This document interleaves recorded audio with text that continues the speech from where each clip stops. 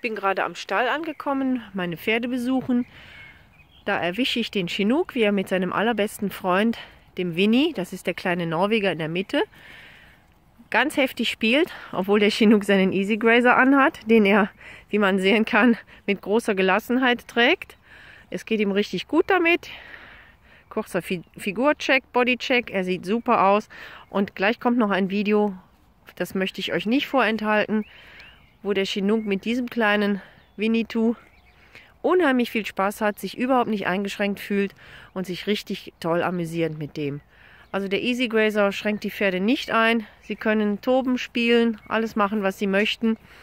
Haben eine komplette Gestik im Gesicht.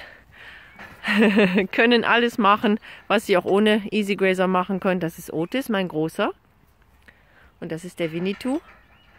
Viel Spaß bei dem folgenden Video. Tschüss.